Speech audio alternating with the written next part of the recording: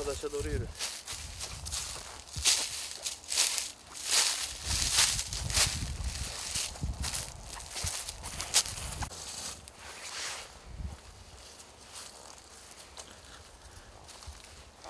Yanmış bir.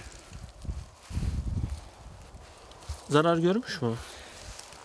Görmüş ama görmeyen de var yani. Tamamen yanmış değil.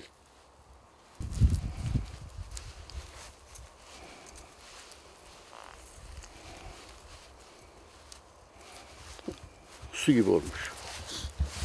Bahçenin bir kısmında su her tarafa yetmediği için lastik yaktık. Bu bahçenin bu kısmında da artezen açarak e, kuyuda çıkan artı 16 derecedeki suyun soğurken dışarıya verdiği ısının kalsiye faydası olacağını, çiçeklere faydası olacağını düşünerek suyu açtım. O da bir müddet hava soğuk olduğu için e, don olayı yüksek olduğu için çıkan su e, donmaya başlamış.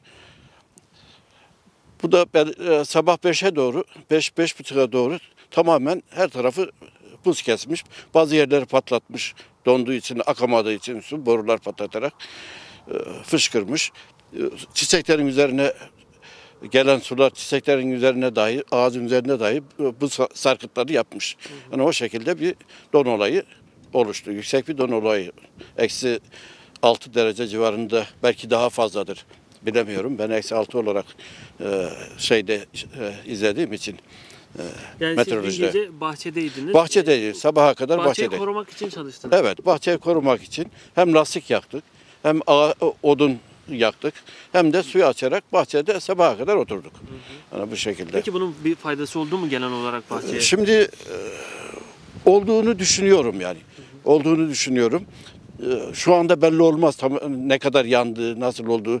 Birkaç gün hava ısındıktan sonra e, yanmanın derecesi ortaya çıkacak. Şu anda belli değil. E, Bayağı yanık var. Şu anda bayağı yanık var.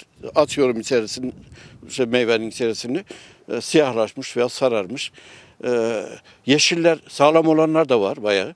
Ama o sağlamlar acaba e, gerçekten sağlam mı? Onlar gün şey ısı arttıkça birkaç gün sonra belli olacak onların sağlam olup olmadığı. Hayırdır? Acil bir şey var mı? Ne oldu?